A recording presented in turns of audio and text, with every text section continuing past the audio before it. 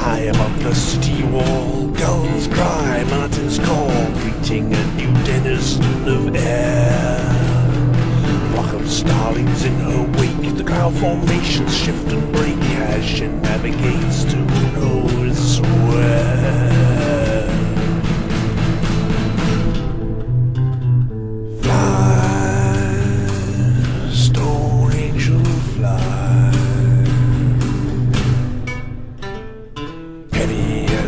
block, weightless as a falling rock, a quarryman attendant at her birth. She cannot see, she cannot hear, numbed by some nameless fear, no place for broken feet on solid earth.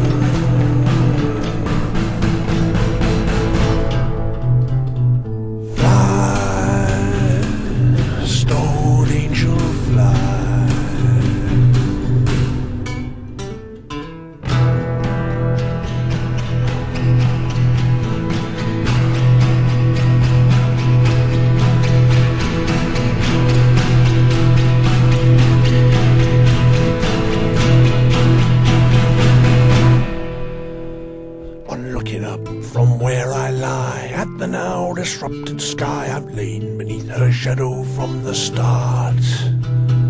And as I lie here all alone, an angel made of granite stone reaches down and clutches at my.